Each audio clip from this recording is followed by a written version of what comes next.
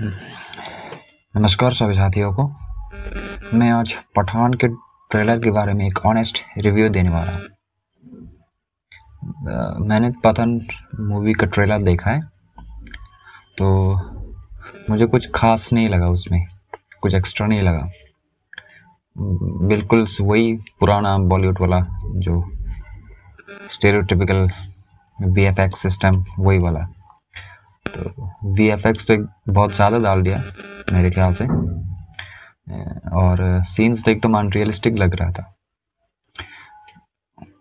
इसमें dialogue delivery ठीक ठाक था, लेकिन कुछ खास नहीं लगा मुझे ऐसा। और वो लोगों की भावनाओं को तो ठेस पहुँचा वो अलग बात है।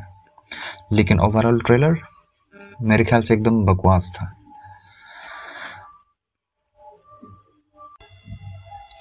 मैं इसमें एक चीज़ और ऐड करना चाहूँगा।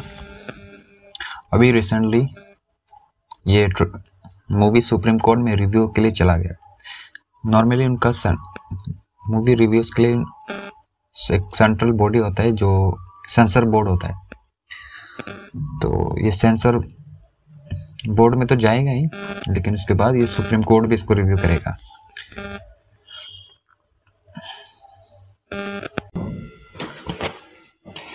मैंने जो भी कहा ट्रेलर के बारे में, ये मेरा पर्सनल ओपिनियन है।